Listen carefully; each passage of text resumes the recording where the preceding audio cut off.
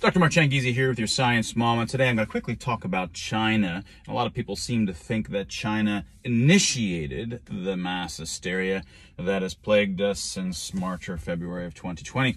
But I think that's, as I've talked about in these uh, many science moments, that these events are much more complicated than any specific evil actors which initiated all of those plenty of evil actors uh, here and there after the fact.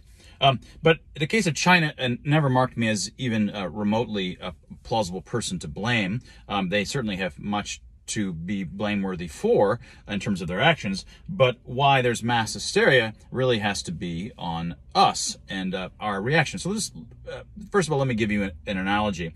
Suppose that on my street there's a neighbor that's always throwing eggs at my house. Uh, he's been keying the sides of my car, slashing my tires, uh, you know, uh, putting uh, spray paints on my house. Now, he's an enemy of me and he's always just a douchebag.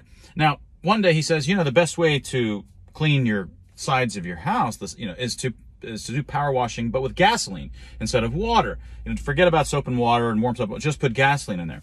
Now, if I were to listen to him and power wash the side of my house with gasoline, and then some you know, horrible tragedy happens to my house, whose fault is that really? It would seem to me that obviously uh, he was trying to cause trouble. But if I were to listen to him, given that he was a sworn enemy of me, I would say that that's my fault for doing that, and I should be blamed. So when the West, even if it was the case uh, that China was purposely saying, hey, do these lockdowns, which of course are going to be devastating, we're not going to tell you that, and they're trying to coax us and provoke us to do these devastating lockdowns and other interventions, well, who is China to be somebody that we would ever be listening to? Since when is China the example of the West? No, this is China's an example of everything what, that we in the West should never do and would never do. They were never our friend. So to go and say, "Oh my God, uh, they said we should do this and we did it, and so therefore it's their fault," is just utterly ridiculous. This is utterly ridiculous. Furthermore, uh, what actually happened back in February was China was having PR was leaking out, or put out on purpose, however you want to describe what was happening, it was showing uh, uh, citizens there uh, chained to uh, uh, light posts because they had been naughty in terms of not social distancing or, or remaining locked down. They're, they were welding people into their apartment or their condo buildings.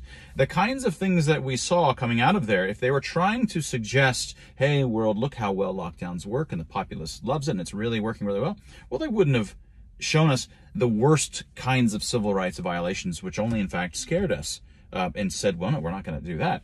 If we did it, if we did these draconian civil rights crushing interventions, we did it in spite of the PR and propaganda that was coming out of China, not because of it.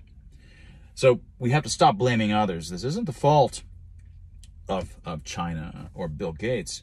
This is our own leaders' faults. This is in part Trump's fault. This is your own governor's fault.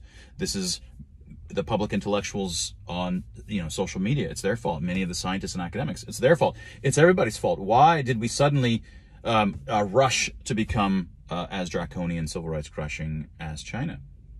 You can't blame China for that.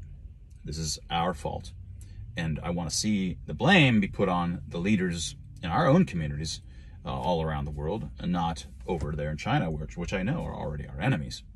And that was your science moment.